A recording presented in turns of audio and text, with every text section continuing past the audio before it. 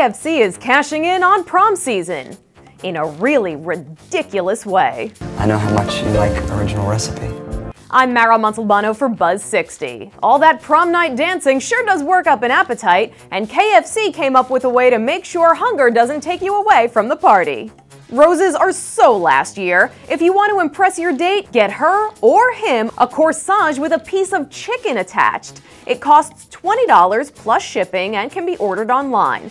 Your date might be taken back by the gesture at first, but KFC seems to think she'll come around to the idea. That smells wonderful.